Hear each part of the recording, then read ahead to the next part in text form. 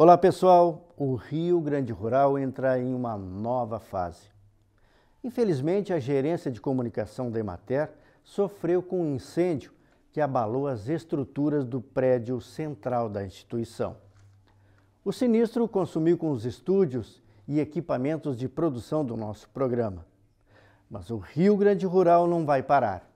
A equipe de produção do programa foi acolhida pela TVE do Rio Grande do Sul os telespectadores de todo o estado poderão continuar assistindo a nossa programação na própria TVE e emissoras conveniadas em todo o país.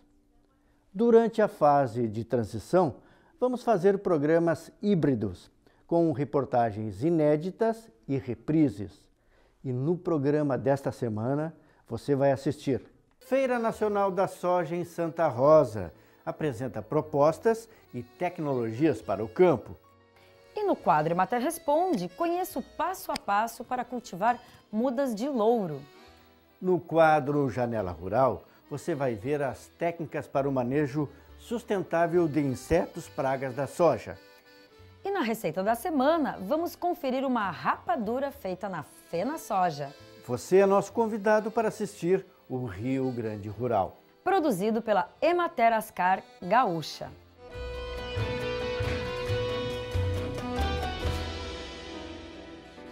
Foram 10 dias de Feira Nacional da Soja, a Fena Soja, oportunidade aproveitada pela Emater para apresentar propostas e tecnologias que contribuíram para a melhoria das condições do trabalho no meio rural. O Rio Grande Rural foi até Santa Rosa conferir os principais destaques da feira voltados à agricultura familiar. Feira sempre é uma grande oportunidade de construir conhecimento e ficar por dentro dos principais destaques de diferentes áreas. Por ser uma feira multissetorial, a Fena Soja permite apresentar novidades e informações em uma diversidade de atrações. A Emater preparou uma extensa programação para receber o público, um convite a revisitar o passado e visualizar as propostas para o presente e o futuro foi feito aos visitantes dos caminhos da soja. Na história da agricultura local, foi difícil não se ater a detalhes que nos remetem aos tempos de colonização de Santa Rosa e deixar de sentir-se parte, lembrando histórias vividas pelas famílias que escolheram a região como local para viver. Nessa história, destaca-se a evolução da agricultura, com ênfase no grão que dá nome à feira e impulsiona a cadeia econômica da região, a soja.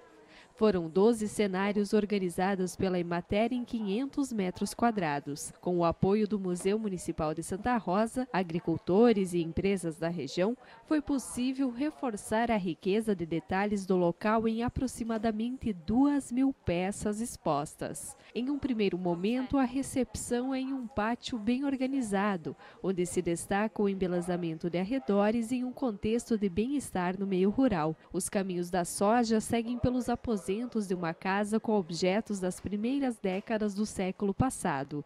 Na cozinha, as memórias são ativadas com os móveis, detalhes decorativos e utensílios muito comuns nas residências locais no passado, como o moedor de pimenta, a cristaleira, o balcão com grandes divisórias para guardar mantimentos, assim como um rádio antigo, um dos principais meios de acesso à informação no meio rural ao longo das últimas décadas. Na sala e no quarto, os móveis, objetos e vestuário também remetem à história das famílias que colonizaram a região. O trajeto segue em um galpão antigo, com equipamentos como foice, garfo, rastel, canga, enxadão, machado, fumigador de formigas, plantadeira manual, ferramenta de madeira usada para fazer canteiros, pé de cabra, desfiador manual de lã, a tradicional foicinha para colher soja, trilhadeira e carroça. Os caminhos seguem revelando a relação da soja com a cadeia da suinocultura, seja para a produção de alto consumo ou mais tarde no estabelecimento de grandes frigoríficos e agroindústrias. os primeiros passos da comercialização e industrialização da soja produzida na região e a ascensão do cooperativismo também estiveram representados. O surgimento da Ascar em 1955 recebeu destaque em um contexto de consolidação do crédito rural, assim como a sequência do trabalho plural de assistência técnica e extensão rural com a criação da Imater em 1977. Os caminhos apresentam ainda a importância econômica e social da soja e seu uso diversificado, estando presente em inúmeros produtos à disposição nas gôndolas dos supermercados.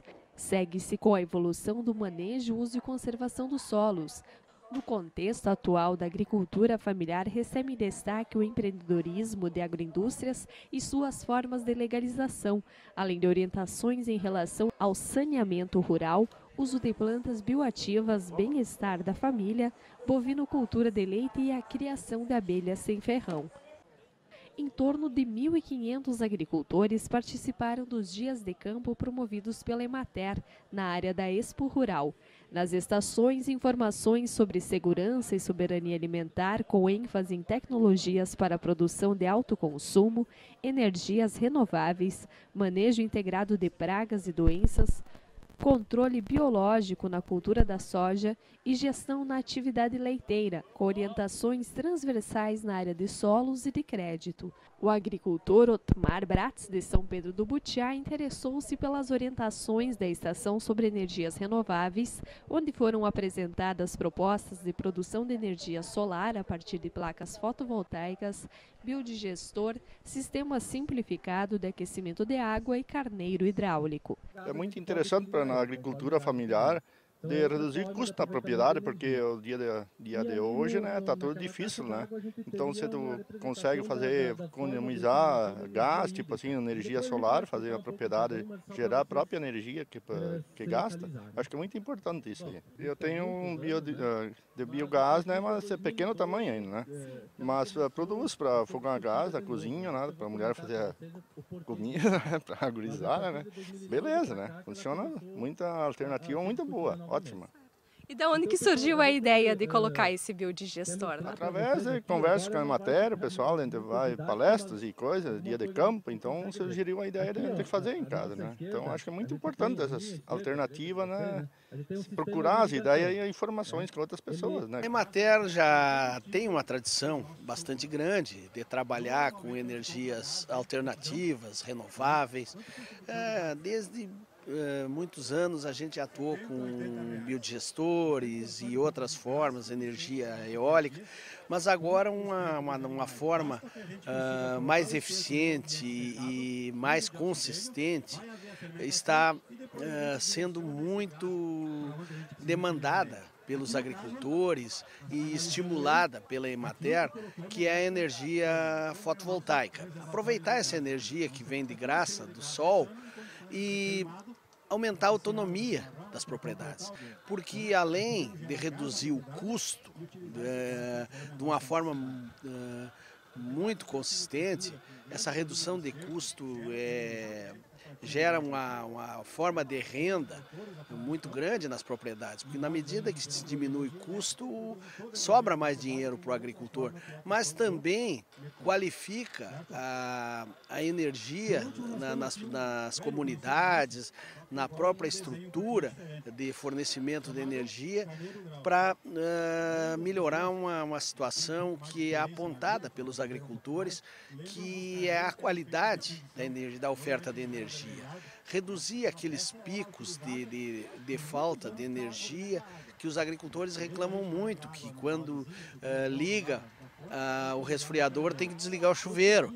E aí uh, isso também está trazendo uma contribuição uh, direta para cada produtor, mas para o sistema todo, na, na medida que esses sistemas injetam em toda a rede energia produzida a custo zero a partir da, da, da, energia solar. O uso saudável e diversificado da soja na alimentação humana também recebeu destaque na feira em oficinas culinárias realizadas diariamente na cozinha da soja, na realização do Festival de Pratos Derivados de Soja e no compartilhamento do bolo oficial da feira, que recebeu incremento da soja entre seus ingredientes.